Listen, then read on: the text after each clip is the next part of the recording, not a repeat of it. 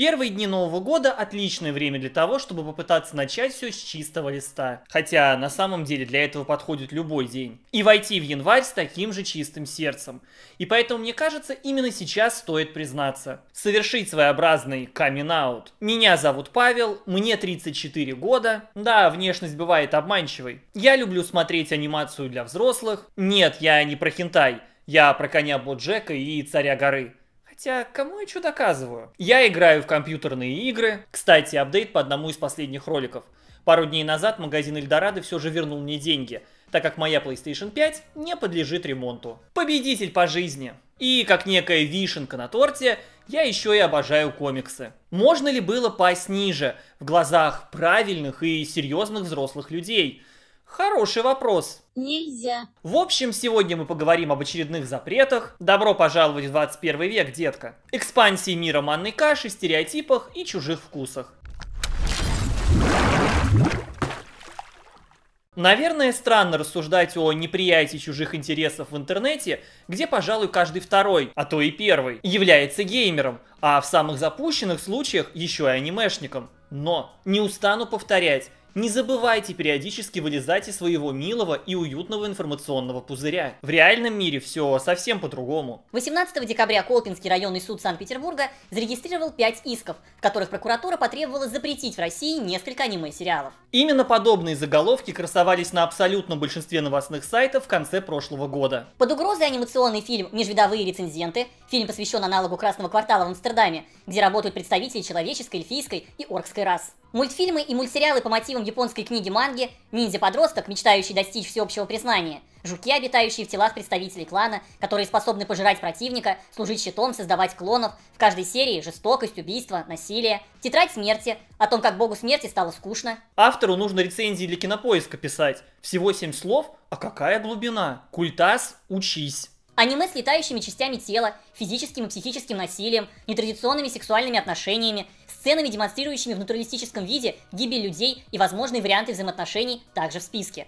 Мультсериал «Эльфийская песня» с расчленением, аниме о девушках-роботах, которые включаются интересным образом, Интересно, каким? Ну и чтобы этот список смотрелся максимально полно, в него еще решили включить песню Моргенштерна «Я съел деда». Кому? Зачем? Какое отношение песня имеет к аниме? Не спрашивайте. Самое главное, дела приняты к производству. Далеко не все журналисты попытались разобраться в этой ситуации. Потому что, давайте скажем честно, заголовок В России запретят аниме. звучит гораздо лучше, чем Претензии предъявляются к сайтам, которые не обеспечили возрастные ограничения для просмотра контента, а не к произведениям. Само аниме на территории России заблокировать никто не пытается. можно выдохнуть.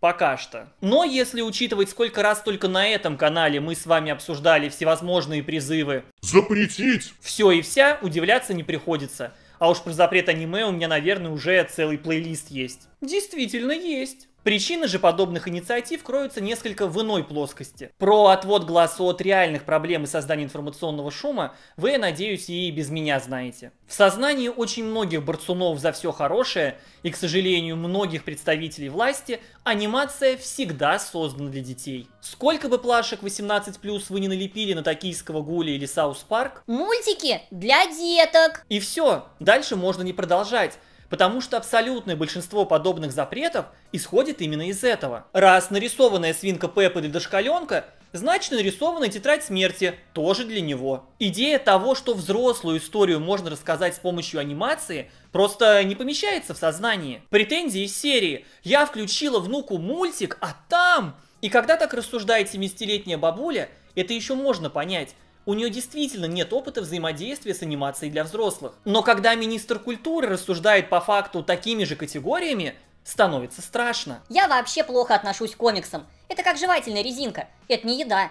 Комикс ориентирован на ребенка, который только учится читать. Но взрослому человеку читать комиксы, мне кажется, убожеством. Взрослому человеку читать комиксы – это признаться, что я дебил, я читаю комиксы. Коллекционировать их, наверное, можно, это прикольно, но не читать. Здравствуйте, я дебил, я читаю комиксы. Конечно, бывшему министру культуры неплохо бы знать, что относить комиксы исключительно к литературе такое себе. Это скорее отдельный вид искусства, синтез письменного и нарисованного. Но ведь в азбуке тоже есть картинки. Значит и комиксы для детей. Нет, ну реально логика именно этого уровня. Мне вот просто интересно, Это Персиполис или Маус, или Песочный человек, или Мечтатель, ориентированный на детей. Или Мединский ничего кроме приключений Микки Мауса не видел. Чего уж мелочиться, и балет для детей. Чего они там пыжатся на сцене? Когда в нормальном драматическом произведении актер не только может показать эмоцию движением, но и выразить ее словами. Убожество! А картины? Для чего вообще художники существуют? Ну вот есть явление Христа народу. Так вы только представьте, насколько больше можно было бы в книге об этом рассказать. Сидят там, картинки вырисовывают. Мысль о том, что Творец может самыми разными способами воздействовать на окружающих, похоже, слишком сложна. Нет хороших или плохих видов искусства. Есть хорошее или плохое произведение. Хотя и тут у каждого будут свои критерии. А давайте Толстого с Васнецовым сравнивать. Именно благодаря комиксам я снова начал рисовать, потому что сюрприз-сюрприз. Комикс – это еще и работа художника, который тоже может вдохновлять. Как и на что я там вдохновлялся в Procreate, можете оценить в моем инстаграме. Ссылка в описании. Вообще я люблю, когда, если уж люди несут бред, то до самого конца, чтобы не расплескать. Все мы знаем, какие замечательные фильмы спонсировало Министерство культуры. А зачем? Ведь в кинотеатре вообще читать не приходится. В комиксах хоть какой-то текст есть.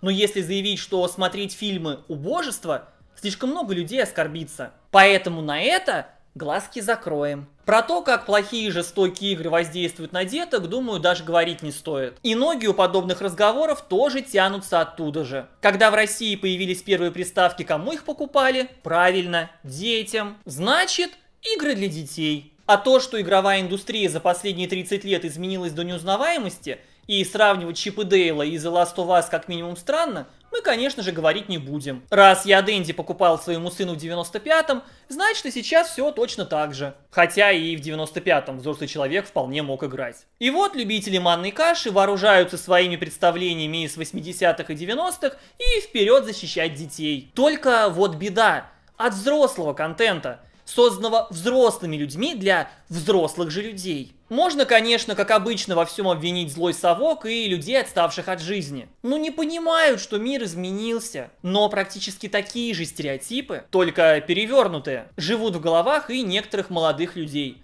Включаешь ролик блогера-миллионника с настоящей армией фанатов и слышишь. Если взрослый человек получает удовольствие от игры в Марио, у него, скажем так, с головой проблемы. Ну, раз мата, обнаженки и кровищи нет, значит для детей. Исключительно. Чего, блин? Ты как вообще до этого додумался? И вот сидишь и не знаешь, кто больше белины объелся. Милая тетенька-депутат, причитающая у Малахова. В мультике голые тетки. Или гений интернет-мысли. Взрослый человек на такое внимания не обратит. Если вам понравилось это видео, обязательно поддержите его лайком. Кроме того, не забывайте про подписку, комментарий, колокольчик. Огромное спасибо всем, кто является спонсором этого канала. Ну а я встречусь с вами уже на следующей неделе, в понедельник, в 17.00 по Москве, в моем новом видео. Всем хорошего дня и до встречи.